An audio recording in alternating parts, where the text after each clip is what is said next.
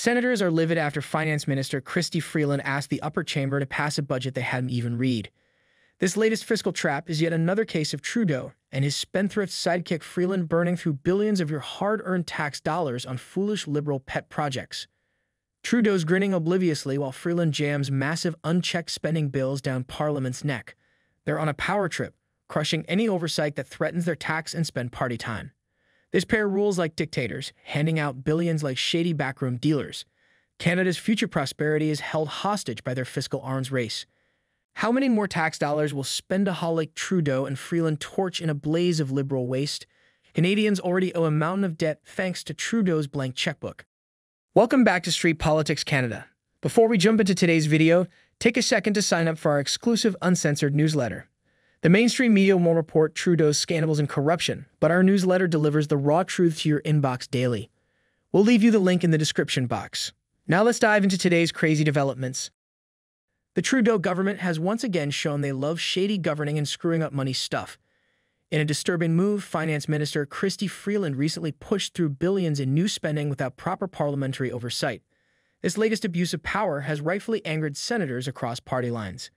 Bill C-67 proposed massive new spending up to 2023-24, but it was rushed through the House in only eight minutes.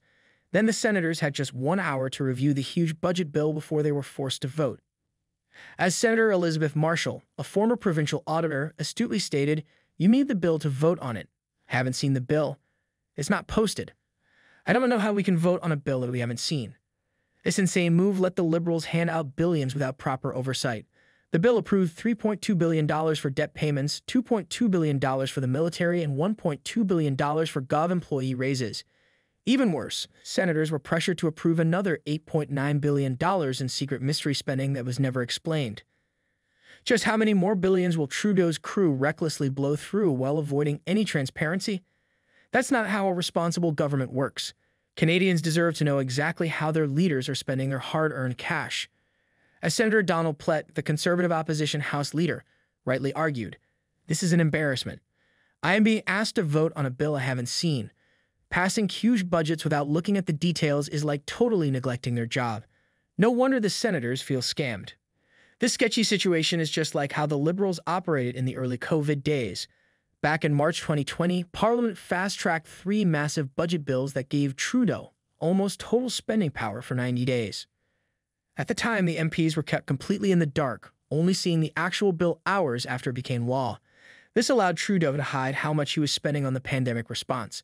The cabinet racked up a crazy $350 billion in debt by March 31, 2020, more than the inflation adjusted cost of World War II. As conservative MP Scott Reid presciently warned, panic is never ever an excuse to override our ancient political conventions.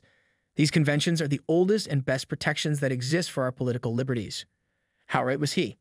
Yet the Liberals have clearly learned nothing since their earlier gross misconduct. While Finance Minister Freeland pledged to limit this year's deficit of $40 billion, the actual budget shortfall has already ballooned to $25.7 billion. This despite tax revenues increasing by $10.5 billion. At the same time, program expenses surged by $21.2 billion and public debt charges grew by $10.3 billion. So much for the Liberals' hollow commitments to fiscal restraint. But do you really want to know where all this money is going? The Trudeau Liberals seem set on funneling it as sketchy pet projects instead of urgent stuff we need here at home. Case in point, Trudeau recently pledged $8.4 million to study so called democratic decline and its relationship to climate change. He made this announcement at the recent Summit on Democracy in South Korea, this is basically dumping millions of dollars on a research paper that can solve the mystery of why Canadians find Trudeau so unlovable. This is yet another example of the PM wastefully spending our tax dollars to push his ideological agenda on the world stage. As Conservative MP Michelle Rempel Garner rightly argued, study after study demonstrates Canadians are most concerned about inflation and the cost of living. What they don't want is more of their hard earned tax dollars going towards this kind of spending.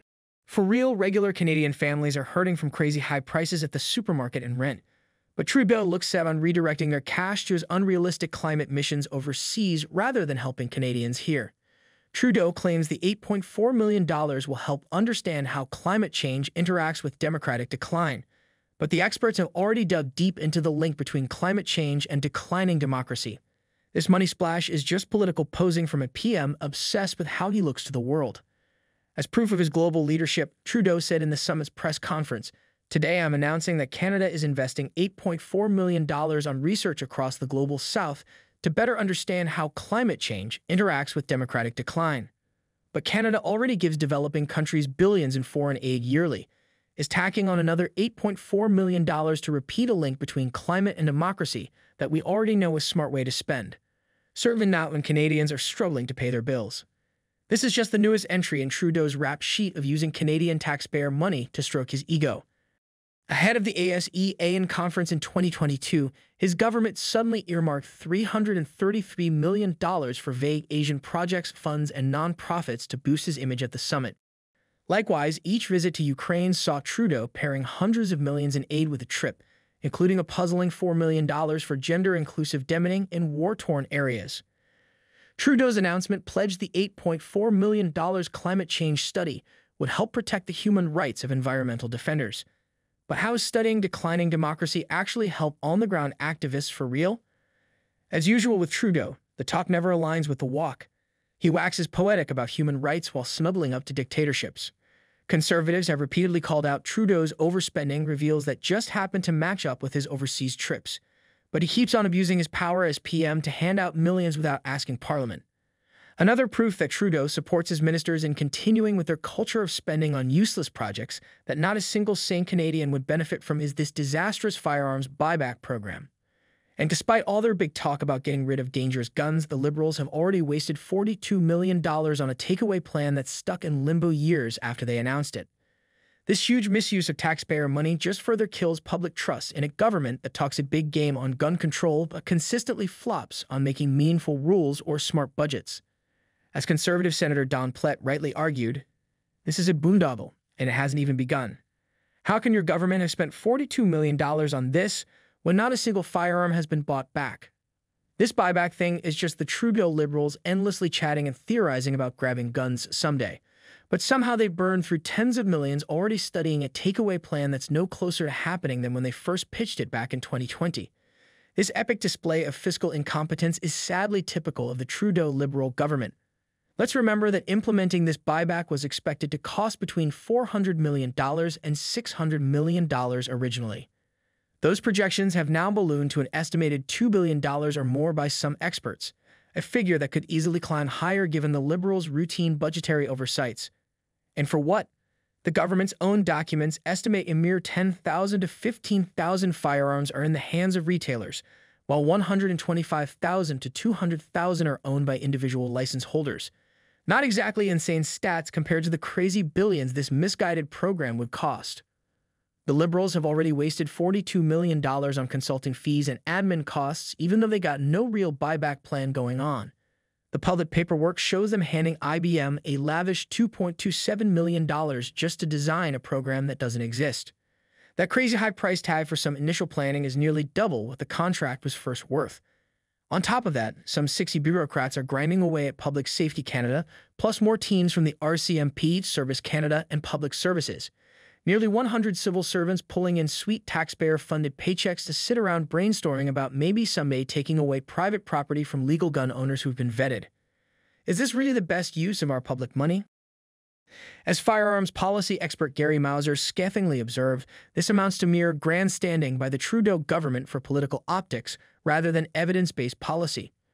After all, many firearms used criminally are already smuggled illegally from abroad. Why should we expect gang members to line up to hand in their guns during a government amnesty? This crazy expensive effort will barely nick Canada's gun violence rate. Mauser also pointed out provinces like Ontario and Saskatchewan are already refusing to join the next phases of this buyback mess. If big partners bounce, the program's scope will be hobbled, making any theoretical public safety wins even smaller. The Liberals are charging forward with their ideological crusade against legal gun owners while ignoring wiser uses of government resources. Trudeau's hardcore addiction to wasteful spending is bankrupting Canada's future. His fiscal dumpster fire is screwing over generations to come.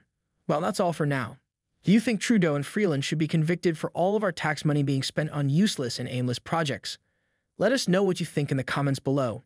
And if you haven't, please subscribe and leave a like for this video. Your support helps us continue our work. You can also subscribe to our newsletter, where we share daily uncensored and unbiased news straight to your inbox. You can find the link in the description below. Thanks again for your support, and I'll see you in the next one.